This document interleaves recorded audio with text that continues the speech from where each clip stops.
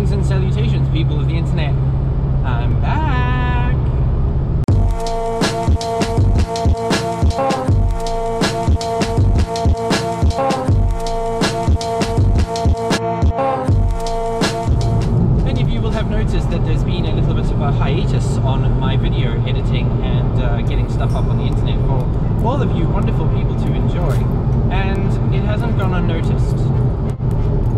The sad truth behind the story about me putting videos together and sticking them up online is the following. I had actually kind of made the decision that I was probably going to stop making them, but then a few people have commented to me when I've been at the airfield and online that because of the videos that I've been putting together, they've gone flying. In fact, one guy that I've met at the started taking lessons. And that's purely down to having seen my videos. Well, that's what I took from the conversation that I had with the guy anyway. So, my thoughts here are that clearly I'm doing something that people find interesting. So, I'm to start it up again and we'll have a bit of fun. Now, obviously, COVID has put a bit of a halt on a lot of flying over the past year, basically. It's been rubbish. Uh, however, that said, we've actually gotten off a little bit lighter than England seems to have. Obviously, the second lockdown is currently happening right now uh, in Englandshire, and it's not the same up here in Scotland, so we can actually. I'm relatively lucky in that where I live in Dunbar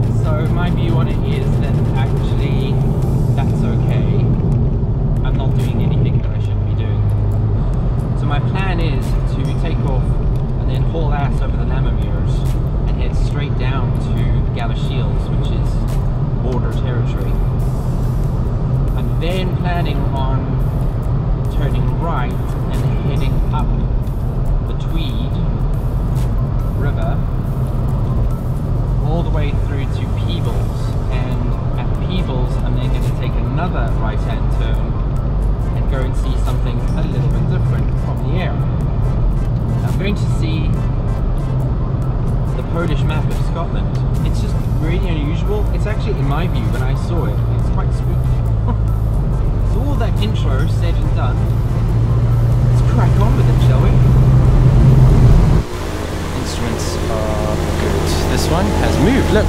Since all of you have uh, last been flying with me, you may notice something a little bit different down here. Uh, compass has moved because we've now got a screen on the plane, so that's now visible, so that's pretty cool. Now I arrived at the airfield at 9 o'clock this morning. It's now 12 o'clock and I still haven't actually flown. I'm too busy gabbing about various different things. Golf Mike Lima entering and lining up 1-1.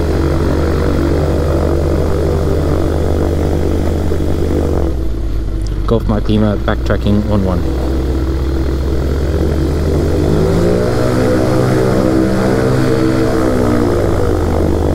I've got quite a lot of fuel on board, so let's just backtrack a little bit on the runway.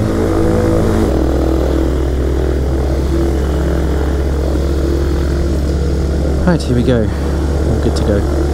Golf Mike Lima taking off 1-1, departing to the south.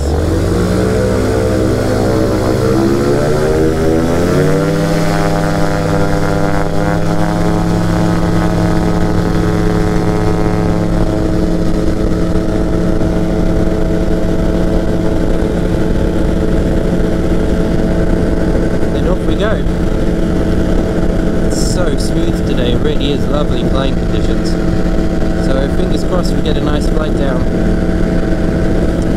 Be only issue I perceive at the moment is the fact that, unfortunately, a few weeks back, I put my sunglasses stupidly on the floor in the in the hangar, and then proceeded to reverse my plane over the sunglasses. So I don't have any sunnies on me at the moment. So uh, it's quite cold today. Note all the mist and stuff that's coming out. Definite winter conditions. Right, and over the Lammies we go. The back of the Lammermuirs anyway.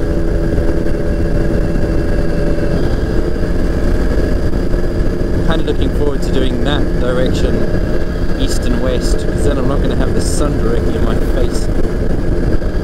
And we see the Tweed yet? I can't. It's over there somewhere, apparently. Kind of in that valley, see the two humps? I think it's sort of in front of that. Ah, yes, that's the Tweed there.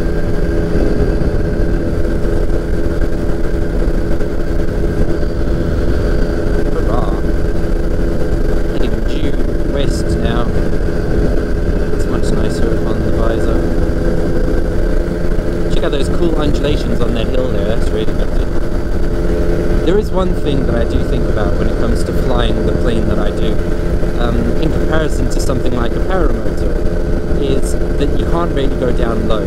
Um, there are certain laws, we don't go lower than 500 feet uh, if we can avoid it at all costs really. Just avoid people, buildings, all that kind of stuff. And there is a law that kind of governs that.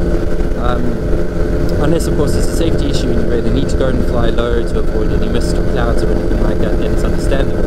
But something like this, when you've got these undulations here in the walls and all this really cool stuff, uh, it would be absolutely awesome to be able to put the plane down low and fly around. And it is something that people ask me is, well, can you fly down low, like close to the ground, like 100 feet off the ground and like buzz things? No, you just can't really do that. It's just not sensible. For a few reasons. One, obviously, it's going to irritate the people that are on the ground, so it's not safe for that. And two, if for whatever reason something happens to the wing or something happens to the local air conditions, which will change the wing itself or change the airflow, and you get a wing drop, you've only got a hundred foot of space between you and the ground, the ground's going to win, I'm afraid. So that's why we tend to try and stick it up high. For us, though, it does mean we get the good views. I mean, you can't knock this. I mean, this is spectacular. Um, I've got the, the hills at the borders and walls and things all going about. It's absolutely stunning flying conditions. I haven't had a real major bump at all, so I cannot complain. Okay, so we've now made it to Peebles. Okay, so we're now on the lookout for the Great Map of Scotland. Ah, I have spotted the hotel where the map is located. So it's, I believe it's in that block of white buildings in the forest area there. So it's just coming into view now. That is spectacular.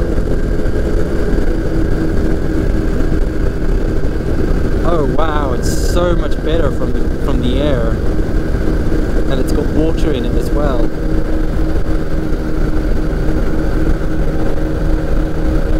That is just amazing. So it's a complete topographical relief of the whole of Scotland and it's accurate. Like you can see Arthur's seat on it, you can see Berwick Law on it as well. Right, we're now going to go back down the Tweed and head to Berwick. Love that. So glad I've seen it. Right, bumpy. Bye map.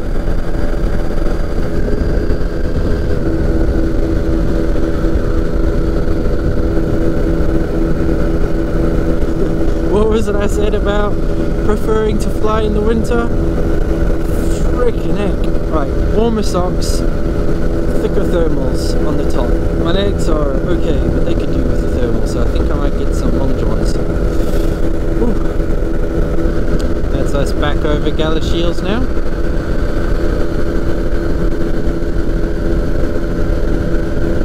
So that's valley that we came down when we were heading down towards Galashiels. So that's that way. But we're going to carry on following the Tweed all the way down that way.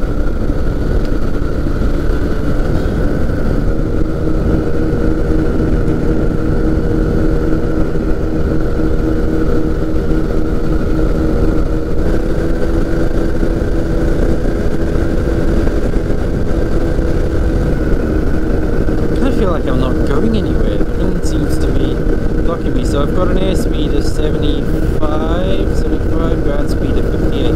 So there is a little bit of a headwind hitting me here, which is a bit frustrating.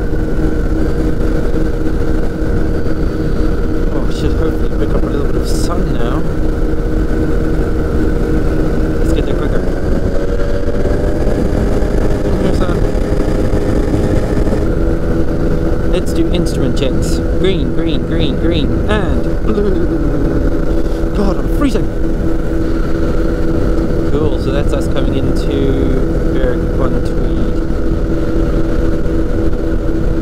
Or as I like to call it, sorry if you live here, campervan capital of the world, because there's campervans there, there's campervans over there, there's campervans over there, there's, there's stacks of them. This is like the place seem to want a campervan.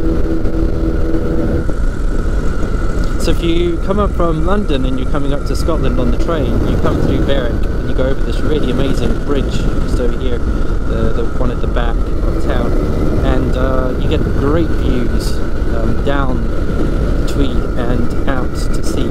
So yeah, actually that's a point. That's us now at the mouth of the River Tweed going into the North Sea. So we've just flown the length of the Tweed from Peebles all the way out to the sea. That was cool. I am freezing but really cool. Hey Berwick. Yeah, see that's the railway bridge there. Stations there. So if you stop, that's where you get off. The great little pub in the corner there, uh, which I have had to use on one occasion because I fell asleep on the train in Dunbar and missed my stop. And stop is Berwick. Stopped there. I had to wait an hour and a half. So I stopped up for a wee drinky and then up the train way back up again.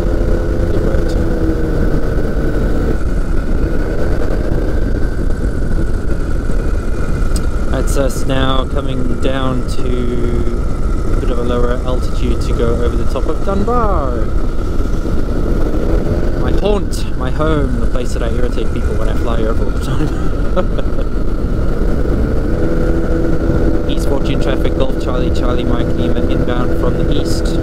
Three miles to run at 2,000 feet, descending to 1,500. Well, I hope you enjoyed that little flight around the borders uh, and along the River Tweed. I certainly did. It's something I've always wanted to do, which was to see the, the big map of Scotland just north of Peebles, and I can now tick that off my list and uh, hopefully I've added it to your list so that it's one that you would um, happily go and see sometime in the future, and I hope you do. So we'll make our way down to the ground. I'm just arriving back at East Fortune now. Uh, we're already at the right altitude to go over the top of the airfield and find out which runway we're going to be using, and uh, then we'll just pull her in, run to the toilet because that's been a long flight, uh, and uh, then go and grab something to eat. So yes, I hope you enjoyed that, I certainly did, and um, I will catch you all on the next episode. Wow, 2 hours and 21 minutes I've been away for. That's a long flight. Right, which runway are we coming in on? Let's see where we are.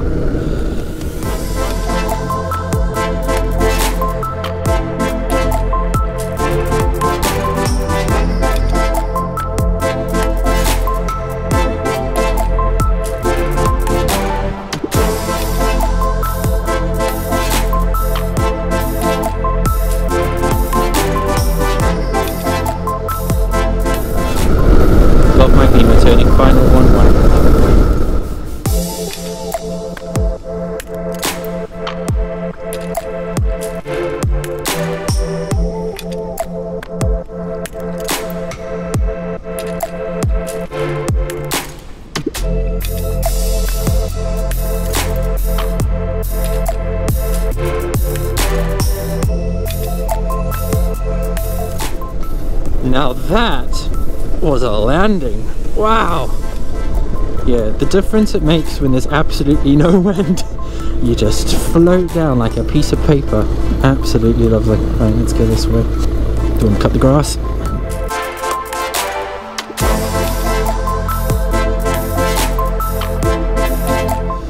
And here we are, back at the hangar. Gloves off.